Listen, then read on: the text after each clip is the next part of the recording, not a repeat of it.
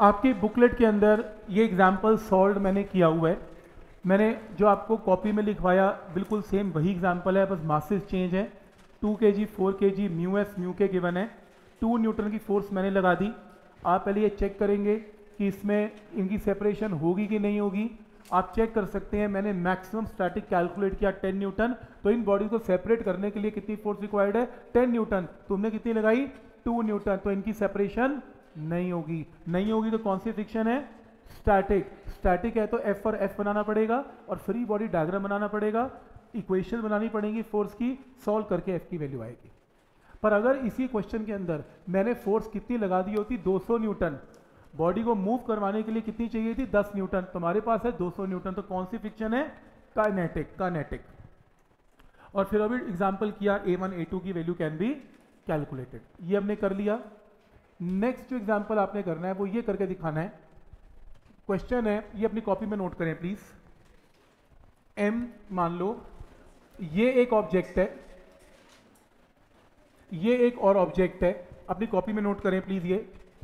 M और three M इसका जो मास है, जो नीचे का मास है, वो थ्री एम गिवन है। थ्री एम है, ऊपर का मास एम है। और यहाँ पर फोर्स कितनी लग रही है? टू एम फोर्स लग रही है। यहाँ फ्रिक्शन है, ये स्मूथ सरफेस है। आपको म्यू के की वैल्यू गिवन है 0.1 और आपको इस क्वेश्चन में निकालना है रिलेटिव एक्सलरेशन मुझे पहले ये बताओ कि सीधा रिलेटिव एक्सलेशन इसका मतलब क्या है? नहीं, वो ठीक है, पर इसका मतलब क्या है? कौन सी फ्रिक्शन रोल प्ले कर रही है? काइनेटिक तो ये दूसरी अच्छी बात ये है कि आपको 95 परसेंट क्वेश्चन में दिया होता है कि ब्लॉक्स इकट्ठे मूव करेंगे या नहीं करेंगे। तो सोचो कितना आसान हो गया क्वेश्चन तुम्हें दिया हुआ इकट्ठे मूव कर रहे हैं तो स्टैटिक आंसर है। और तुम्हें दिया हुआ है, इकट्ठे मूव नहीं कर रहे, तभी तो कह रहे हैं फाइंड रिलेटिव एक्सलेशन तो इसका मतलब इससे फ्रिक्शन कौन सी है? काइनेटिक इसमें चेक नहीं करना, सीधा काइनेटिक का ही कॉन्सेप्ट लगेगा। तो काइनेटिक फ्रिक्शन लगेगा इसमें। तो काइनेटिक फ्रिक्शन की वैल्यू इसमें होगी क्या? F of K is mu K into normal reaction की वैल्यू इस सरफेस पे कितनी है? एम जी तो F of K mu of K कितना है? Zero point one into M G clear है? कानेटिक फ्रिक्शन की वैल्यू आ गई। अब डायरेक्शन ऑफ़ कानेटिक फ्रिक्शन क्योंकि आपने फोर्स नीचे अप्लाई की तो कानेटिक यहाँ पर पीछे और इसको मिलेगी आगे। तो ये लो, ये कानेटिक आगे और ऐसे ही ये कानेटिक पीछे। क्लियर है यहाँ तक? डायरेक्शन ऑफ़ फ्रिक्शन क्लियर है। नेक्स्ट है फ्री बॉडी डायग्राम तो ये एम का फ्री बॉडी डायग्राम और ये थ्री एम का फ्री बॉडी डायग्राम बनाते हैं। तो इनके ऊपर ये कुछ वैल्यूज़ हैं।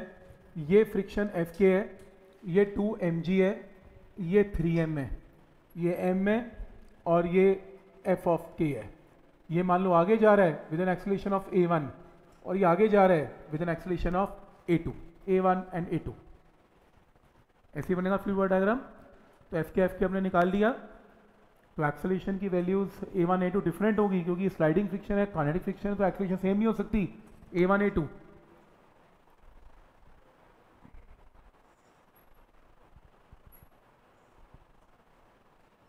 तो फ़र्स्ट ऊपर वाले ब्लॉक की इक्वेशन क्या बनेगी? F of K is equal to M into A one और एफ़ ऑफ़ के की वैल्यू हमारे पास है ऑलरेडी कितनी? 0.1 point one into M into G is equal to M into A one M से एम कैंसल तो ए one की value क्या आ गई? 0.1 point one G is the answer ऐसे ही दूसरे वाले केस के लिए 2 M G minus F of K F of K is equal to three M into A two तो two M G minus F of K की value already हमारे पास है। कितनी? 0.1 point one M G is equal to three M into A two M M M cancel solve करके क्या आ गया? ए to कितना आ रहा है?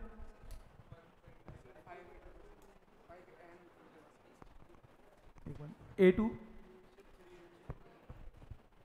three M G यहाँ पे।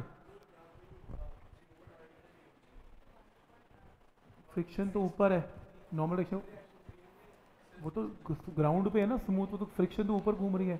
तो जहाँ फ्रिक्शन वहाँ का नॉर्मल रिएक्शन हाँ जी, बोलो। Six point six point three बस।